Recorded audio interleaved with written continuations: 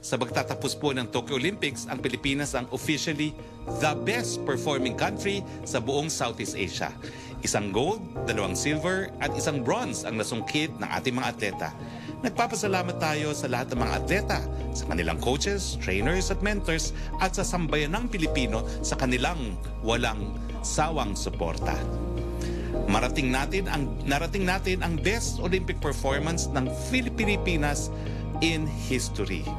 Let us seize this moment and sustain the momentum in Paris 2024. Hindi coincidence na we had the best ever performance in the Olympics including our first gold medal ever in our history in under the leadership of President Rodrigo Roa Duterte.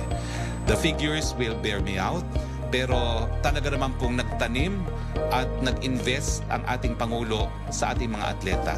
Kauna-unang panahon po, record po ang suportang pinansyal na ibinigay natin sa ating mga atleta at nakita naman po natin ang naging prutas ng ganyang uh, um, investment. No?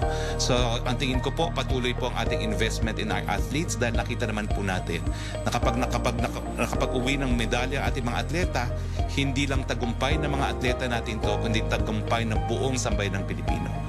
We needed those medals at this time in our history po sa gitna ng pandemya. They provided us hope uh, na kahit ganong kahirap ang buhay natin ngayon, eh magwawagi rin po tayo. Kaya nga po, yan ang dahilan why the President has always believed in investing in our people, whether be it in our athletes, in the form of universal healthcare, or free tuition sa lahat ng public universities and colleges. Natagal-tagal pa po bago ang Paris Olympics muli. Uh, muli po kaming uh, nagpapasalamat at uh, nagbibigay pugay kay Heidelin Diaz, kay Nesty Petacio, kay Yumir Marshall, at kay Carlo Paalam. Pero ang tagumpay po nila ay hindi lang pang-individual na tagumpay. Ang tagumpay po nila ay tagumpay ng buong sambayan ng Pilipino.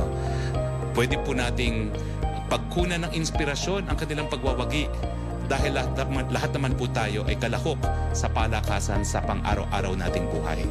Marami po tayong pagsubok, kinakailangan magpursigi at gaya nila Heidelin, magtatagumpay po tayo.